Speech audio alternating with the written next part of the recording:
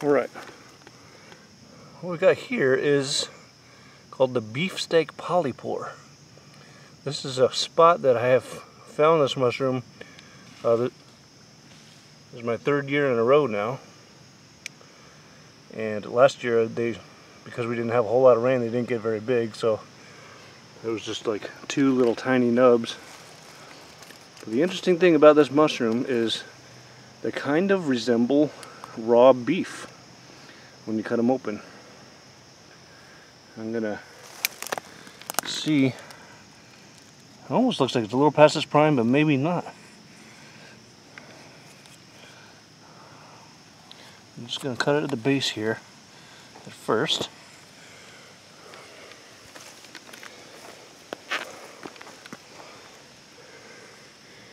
It is a polypore mushroom, no gills underneath.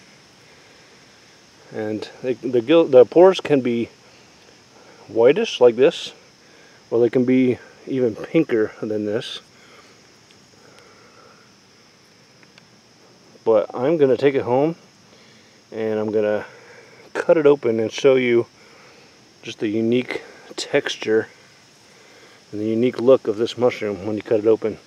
Almost just, I mean, it almost feels like a, a slab of raw beef in my hand. And I can tell you, I've had them twice before. Actually, all, all three times I found it is right here, like I said. But this is actually my favorite mushroom, edibility-wise. Uh, people love the morels. I do too. People love chanterelles. I do too. But man, I love the taste of this mushroom. It's got a sour, almost kind of an acidic taste. But yeah, I'll show you some more when I get home. Okay, so I put this mushroom in the fridge overnight. It's gotten really hard, but you can see the it just kind of looks like blood. It looks like it's bleeding. I'm going to attempt to cut it open, show you what it looks like on the inside.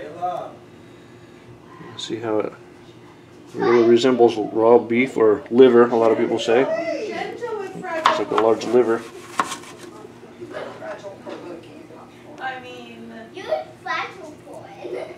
And the texture, it just kind of feels like a slab of raw meat. Really, really cool. So we're gonna, we've got some people over, we're gonna cook up some pieces, several pieces, and see how people like them. We'll show them to you after they're cooked. Oh, oh So here it is, cut up. Is that what she said? Yeah. Try to give you a, an up close look at that. Has that marbly look. Again, just like a cut piece of beef. Alright, and then toothbrush, know if that lighting is the best. Maybe get it out here a little bit. hair stuff, right?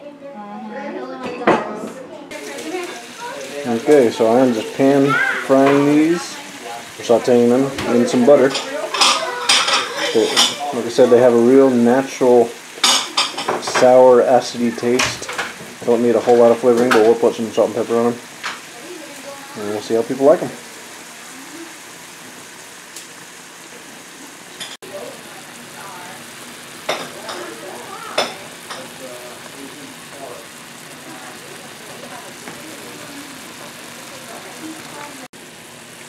Just like steak is red when it's raw, and it browns up as it cooks. The same thing this mushroom does.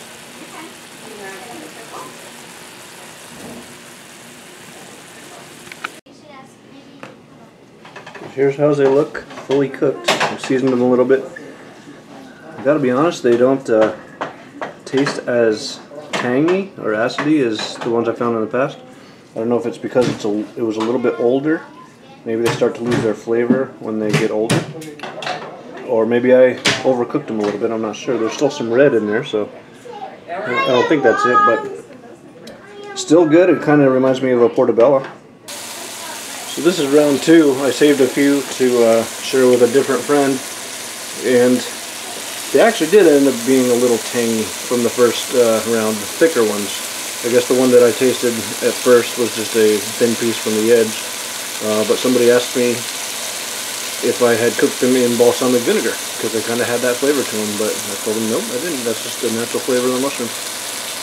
So I'm not going to quite cook uh, this batch as long, uh, hoping that it'll maintain the flavor a little bit more. Uh, if you get a chance to try this mushroom, you definitely should. Thanks for watching.